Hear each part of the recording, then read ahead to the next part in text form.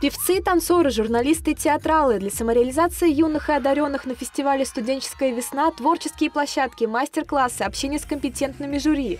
Заявить о своем таланте здесь недостаточно, важно его доказать. Сначала на региональном этапе фестиваля, а затем на всероссийском. В первую очередь это огромный шаг вперед и над собой, и в развитии, то есть самого себя, каких-то там софт и хард скиллов. Э, поэтому для ребят, ну, что это возможность показать себя, заявить о себе, возможность, чтобы тебя заметили, потому что очень много примеров, когда э, выпускники Российской студенческой весны, они попадают куда-то дальше. Стать одним из этих счастливчиков Клим Новиков мечтает уже 4 года. Для него быть актером в театральном искусстве не работа, а призвание. Это очень интересная сфера, в которой можно, во-первых, развиваться, во-вторых, самореализоваться, и в-третьих, жить Mm-hmm. Вот, и я просто понял, что это классно, и с первого же курса я начал, э, скажем так, активную театральную деятельность на различных фестивалях и так далее. Студенческая весна не стала исключением. Над конкурсным проектом вместе с коллегами работали основательно, а главное – с фантазией. Изначально, перед тем, как делать любые программы вузовские, э, мы задаемся вопросом, о чем студенты могут рассказать, чтобы быть на сцене искренними. И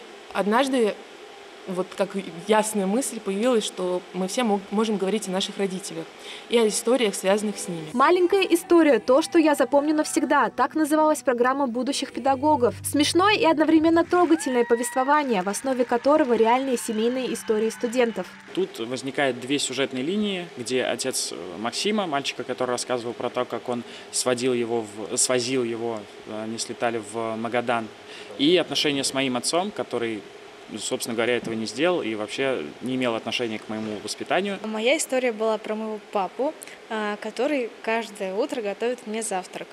Вот, потому что для меня это правда важно, это вроде бы мелочь, но э, очень значимая мелочь, потому что это проявление заботы и любви. Итак, гран-при в номинации «Театр»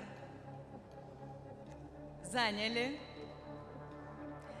Студенты Ульяновского государственного педагогического университета имени Ульянова, Ульяновская область! Среди более чем трех тысяч студентов главными соперниками оказались ульяновские студенты. Дух победы обещают сохранить к 33-й Всероссийской студенческой весне.